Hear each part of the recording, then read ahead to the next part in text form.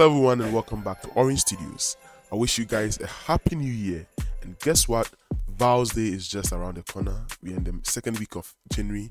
And so Vals Day is probably about a month away, but we want to get ready before Vals Day. So in the coming week, I'm going to drop a series of Vals Day flyers and I'll make them easily and readily available to all of us. So this is a template I have developed and we'll be breaking down this particular one. Bear in mind the PSD file will be available in the description.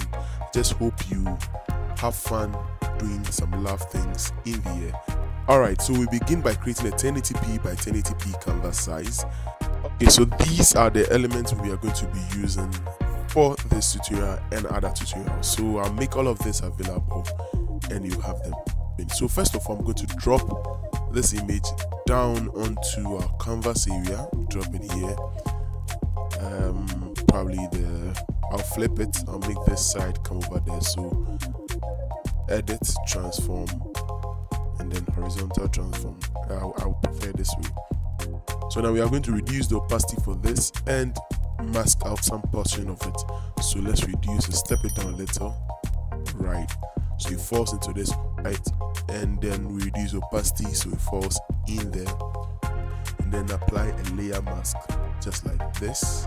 Activate the brush tool by pressing the key B B for balloon and then use the square brackets open or square uh, close square brackets to uh, increase the brush size and then fade it. So we are going to temper with the opacity up here.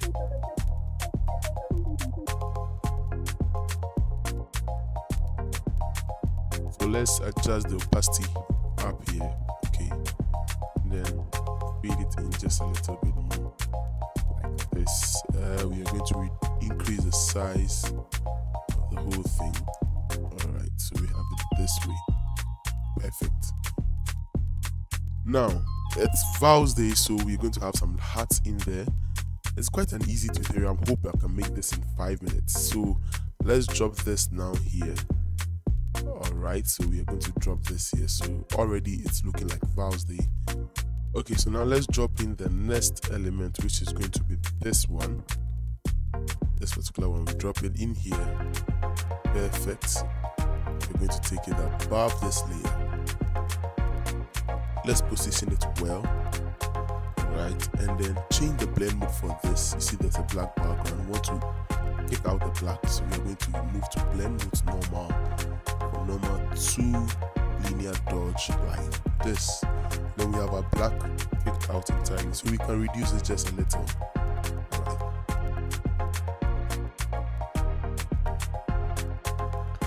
I don't like how it's, it's it looks bulky or spread out this way. So i'm going to squeeze it just a little bit. So control d to bring out the transform hold on shift and then squeeze a little. So i want it to look a bit more narrowed like this. All right so we can just follow along and see how we put in the text.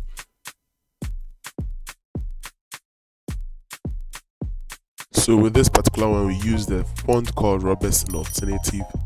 And with this one we use Abril Fatface.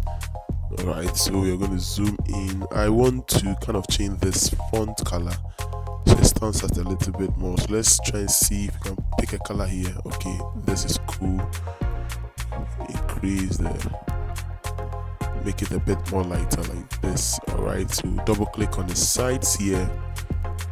Let's add some drop down shadow to it. So click on this the distance is too much so we're going to reduce the distance effect reduce the just a little bit and the size just a little bit more so we can take down the opacity so okay this is good. All right so this is good. This is okay. All right so let's add the other ones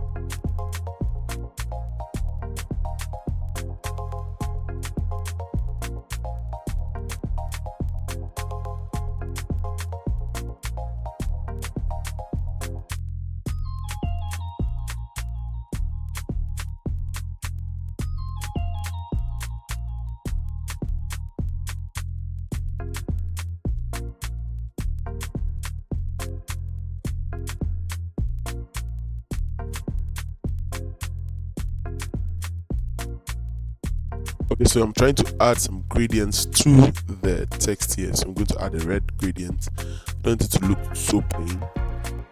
So gradient overlay, I'm going to go for something like this. Alright. Um yep. And let's see how the gradient is displayed. Click somewhere in the artwork once you have um, this gradient thing activated or checked and then just click and drag so you can have if you pay attention undo let me zoom in so we can have a close look.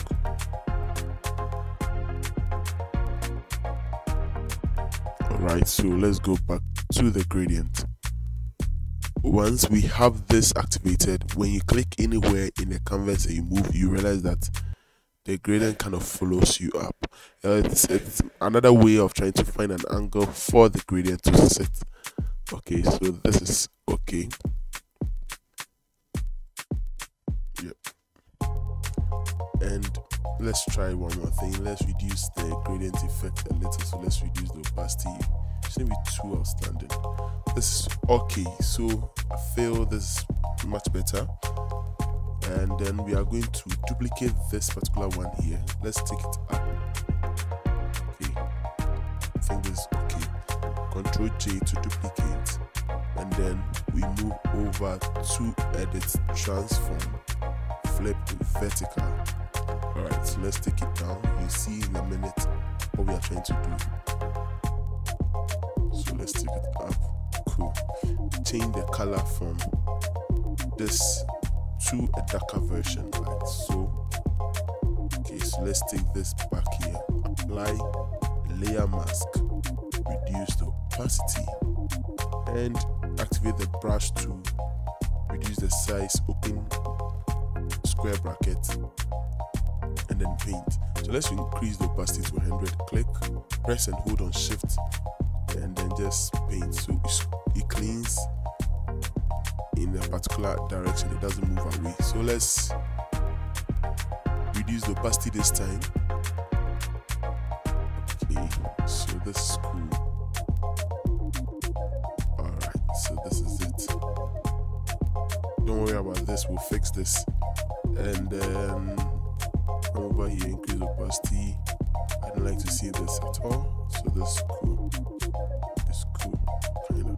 so basically what we are trying we tried doing was to try and give it a reflection kind of uh, give the sweet and bent some reflection. So let's go back so you can have a look at it. So it looks like the text was actually sitting on the platform right? So let's select all of this all of that put it in the group call it this is supposed to be in there as well then call it um, title or something all right so we can now take this a bit up. So it moves away from this. Now with this done all we need to do is to add the logo add some other information and maybe scatter the love around. So let's scatter the love around first. So we are going to drop this. All right so let's see. Let's drop it here.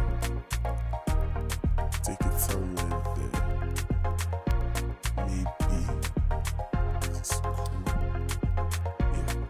then we'll try and scatter it around a little bit. So i'll make the elements available okay?